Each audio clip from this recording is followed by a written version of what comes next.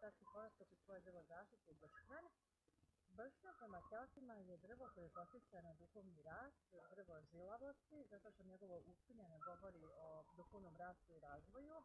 Drvo koje su Kelti e, smatrali da štiti djevojku od neplodnosti, pa su drevni Keltinje nosile to drvo oko suka. I drvo dakle koje e, posjeća na ljude koji su izdržljivi, žilavi, negdje neuništivi, koji su dignu iz svih mogućih situacija, koji kad se zaljubi voli strastveno, um, zaljubili su, dakle, ne da se zaljubili prirodi, nego kad se zaljube, oni se baš zaljube.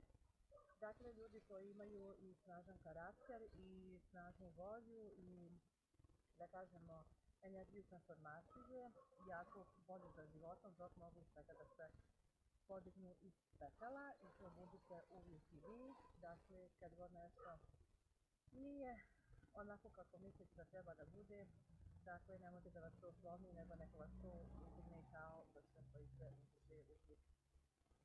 Uvijek u i dakle uvijek iznad svih svojih problema